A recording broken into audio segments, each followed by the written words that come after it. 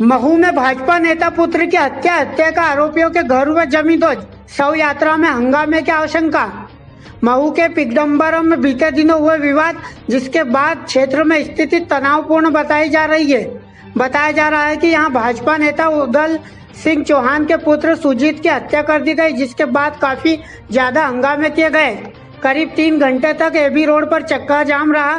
वहीं बड़ी बात यह है कि कल हुई हत्या के बाद आज सुजीत की अंतिम यात्रा 11 बजे निकाली गई। ऐसे में आशंका जताई जा रही थी कि हंगामे हो सकते हैं। जानकारी के मुताबिक पुलिस और प्रशासन यहाँ मौजूद है। उसके बाद भी हंगामे की आशंका है। लगातार पुलिस लोगों पर नज़र बनाई हुई है। वहीं आरोपियों पर प्रशासन ने कार्रवाई करना शुरू कर दी है। आपको बता दें कि एडीएम पवन जैन के नेतृत्व में बड़ी संख्या में पुलिस बल महू के गुजरखेड़ा में मौजूद है।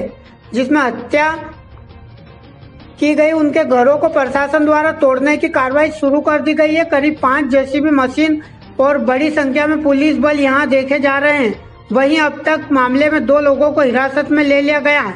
मौके पर मौजूद एडीएम पवन जैन ने बताया कि कल रात हुई घटना में युवक सुजीत ठाकुर की मृत्यु के बाद सात आरोपियों को चिन्हित कर उनके द्वारा किए गए अवैध निर्माण ढहाने की कार्रवाई की जा रही है।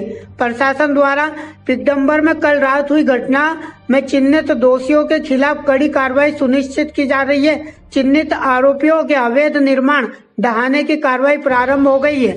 पवन जैन और बड़ी संख्या में पुलिस प्रशासन का अमला कार्रवाई के लिए मौजूद है।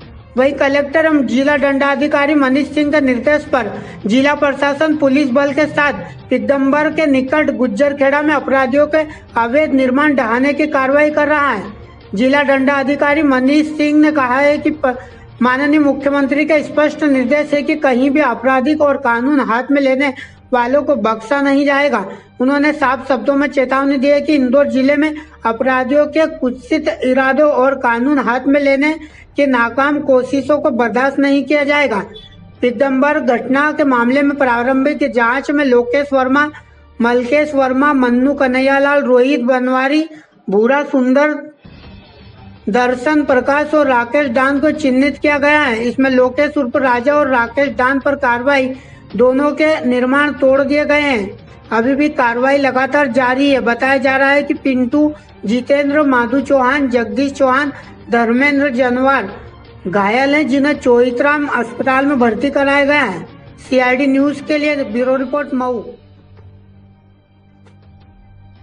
के निवासियों में बोरिंग की बात को लेकर विवाद हुआ, जिसमें एक व्यक्ति की मृत्यु हुई उससे आक्रोशित लोगों ने चक्का जाम किया है। अभी हम 302 का प्रकरण पंजीबद्ध करके हम लोगों ने विवेचना मिली आरोपियों की तलाश की जा रही है। सर कितने लोग घायल बताए हाँ? तीन तीन चार लोग घायल बताए जा रहे हैं वो सीधे एम्बाई चले गए एक एक बच्चे की डेथ हुई है।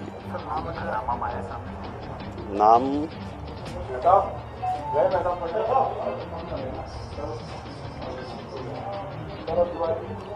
सुजीव पिता उदम सिंह। का नाम आया। सुदीप। सर अभी क्या स्थिति है?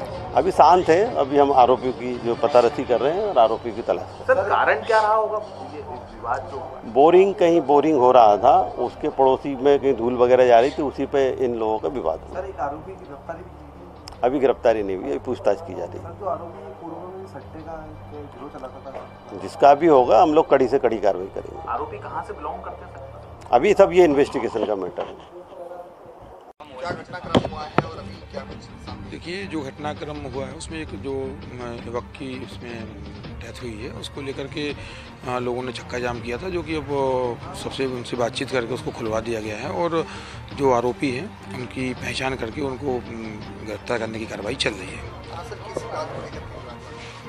विवाद के कारण अभी अंडर इन्वेस्टिगेशन है हमला चल रहा है। बहुत जल्दी ही हम लोग उसमें जो आरोपी हैं, उनको भी पकड़ेंगे और कठोर कार्रवाई करेंगे। सर, आप वहाँ मौके पे वीडियो बार बार बताया जा रहा है वीडियो के बारे में मैं कहना चाहूँगा कि जब तक मैं आपके चैनल के माध्यम से सभी व्यक्तियों को से भी आग्रह करना चाहूँगा कि जब तक किसी भी वीडियो की पुष्टि ना हो जाए जब तक उसको अननेसरी फॉरवर्ड नहीं करना चाहिए। इस तरह के लिए इस तरह की वीडियो जो भी लोग फॉरवर्ड कर रहे हैं वो धारा एक के तहत प्रतिबंधात्मक आदेश जारी हुआ है जिसमें इस बात को स्पष्ट कहा गया है कि कोई भी वीडियो कोई भी ऐसे मैसेजेस बगैर पुष्टि के यदि कोई फॉरवर्ड करता है तो वो भी दोषी माना जाएगा उसमें। तो मेरा सभी व्यक्तियों से आग्रह है कि कृपया कोई भी ऐसे फेक वीडियो जब तक कि वो कंफर्म नहीं हो जाए, एक अथॉरिटी के द्वारा जारी नहीं किए जाए तो उनको फॉरवर्ड नहीं करना चाहिए।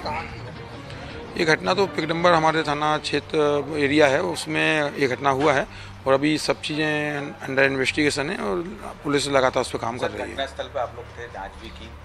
ये मुख्य मार्ग से अंदर ये अभी सब चीज़ें आप जैसी देख ही रहे हैं ना, पुलिस और बाकी सबसे पहली प्राथमिकता ये थी कि चूँकि हमारे हाईवे है और इसमें हाईवे पे जो ट्रैफ़िक जैम हुआ था, इसको क्लियर कराना पहली प्राथमिकता थी तो वो हम लोगों ने इसको क्लियर स्मूथली करा दिया है।